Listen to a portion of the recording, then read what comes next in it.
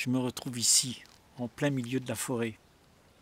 Mais il a fallu que je quitte tout ce qui a été façonné par l'homme, parce que c'est loin dans la montagne.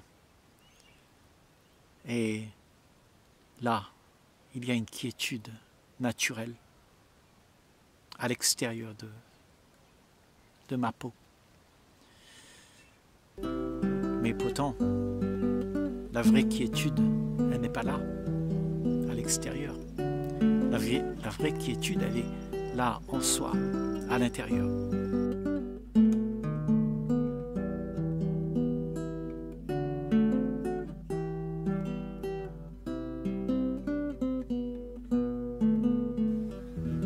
C'est un endroit paisible, sans que l'homme puisse avoir eu le temps de déranger ce que la nature propose. Et je crois que cette quiétude-là, naturelle, à l'extérieur de nous, c'est un exemple de ce que nous avons en nous. Mais en nous, il y a la même quiétude, sauf que nos pensées viennent détruire cette quiétude.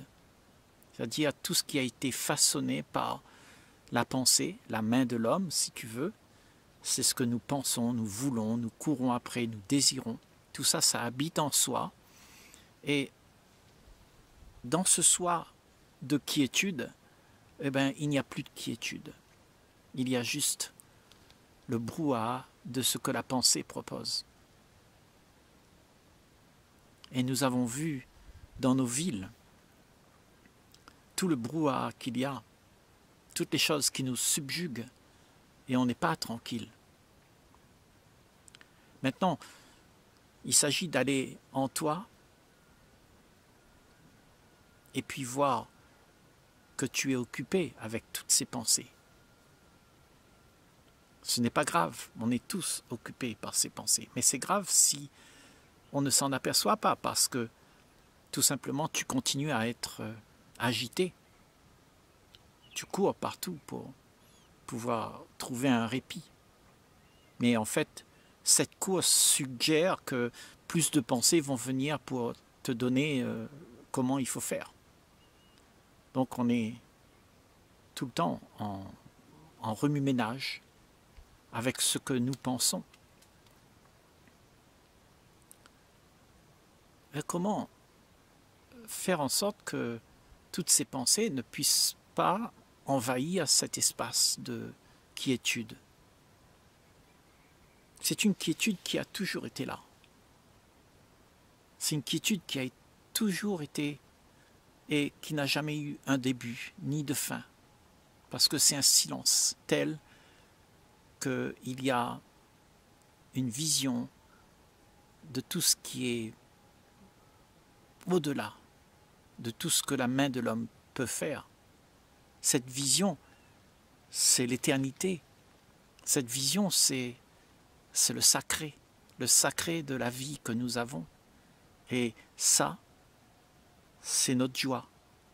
C'est ce, ce que nous avons. Le lien que nous avons avec là, avec cela, c'est la joie de vivre. Et les pensées que nous avons, c'est ce que nous avons amassé sur le parcours de l'existence.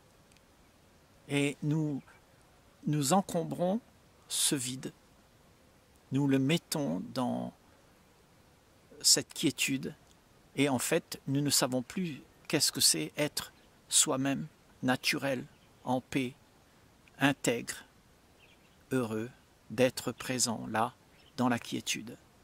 On ne sait plus ça. On cherche, cela. Mais on cherche avec quoi? Avec les pensées qui sont en train de cogiter là. Eh bien, les pensées vont cogiter pour trouver un endroit calme. Mais en fait, ça ne, sera, ça ne se passera jamais de cette manière-là. Parce que avec l'outil qu'on a utilisé pour casser la quiétude, on ne peut pas réparer la quiétude avec la même chose.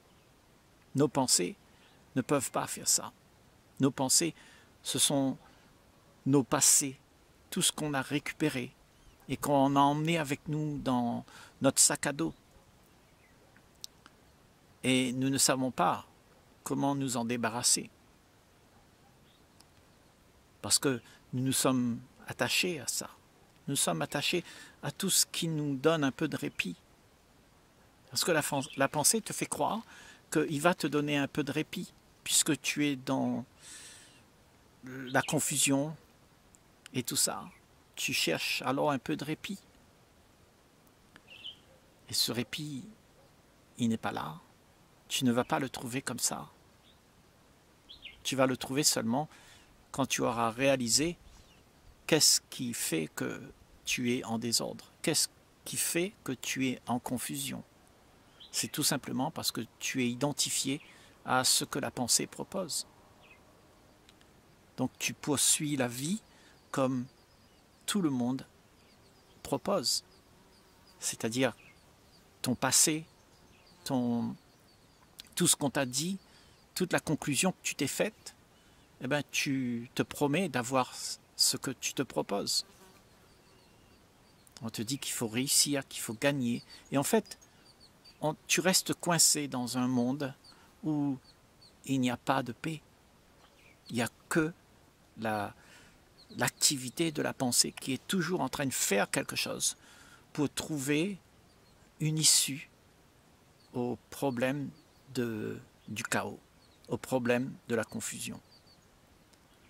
Donc, nous nous enfonçons un peu plus à chaque instant dans la confusion parce que nous utilisons la confusion pour pouvoir comprendre la clarté.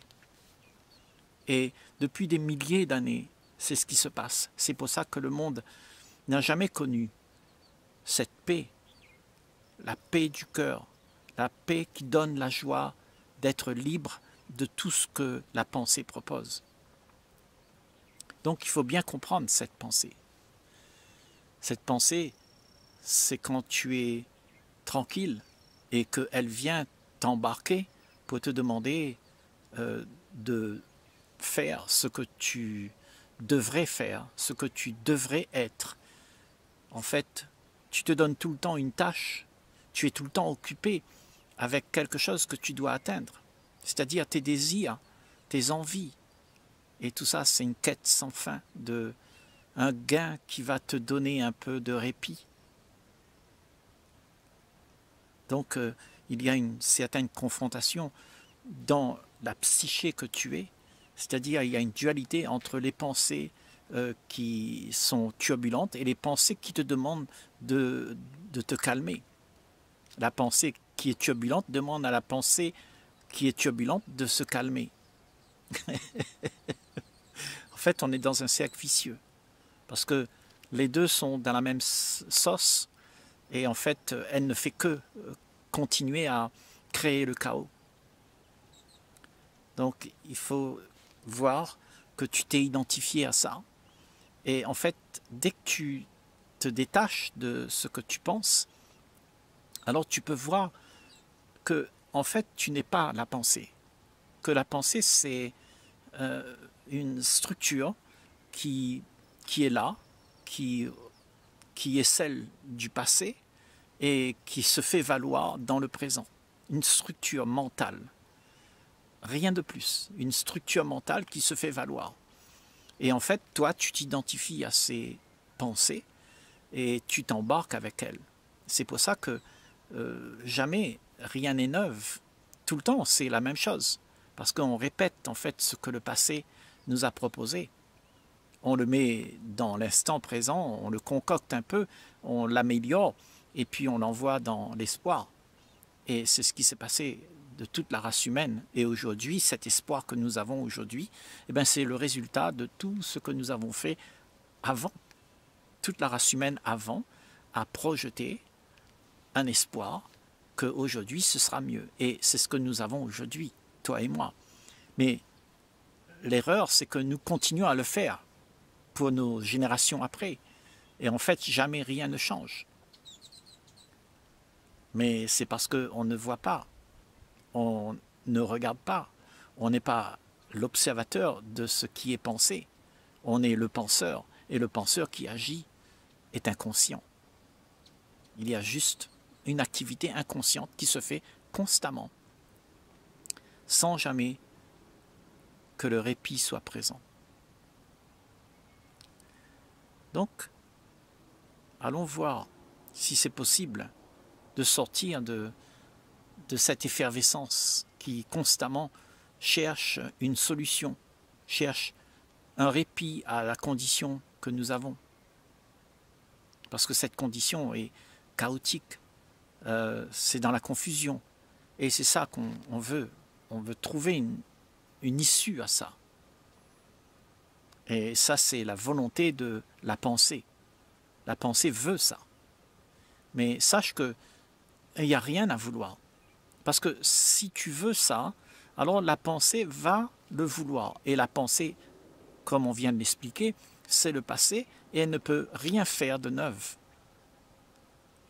C'est quand la pensée n'est pas là qu'il y a une émergence, une intelligence qui se joue et qui remet de l'ordre en place. Mais pour cela, il faut que ton esprit soit calme, serein, que tu puisses avoir vu cette euh, quiétude et que tu n'aies rien fait pour euh, la déranger, cette quiétude. Que tu puisses être toi-même cette quiétude et ne rien faire pour déranger ce que tu es. Mais pour faire ça, il faut que tu réalises que ce que tu es a été identifié à des pensées qui ne sont pas toi. Et dès que tu as vu que tout ce que tu es est un mensonge, alors tout de suite la vérité est là. Ce que tu es pour de vrai est là. Tu n'es plus celui qui joue un rôle. Parce que ce rôle que tu jouais toute ta vie t'a emmené là où tu es aujourd'hui. Et là, on est en train de dire, avant que on arrive à la tombe, de pouvoir faire cet exercice, de se débarrasser de cette identité que l'on a et qu'on poursuit comme étant cette entité que nous sommes, le personnage, le rôle qui est joué. Tout ça, c'est une illusion.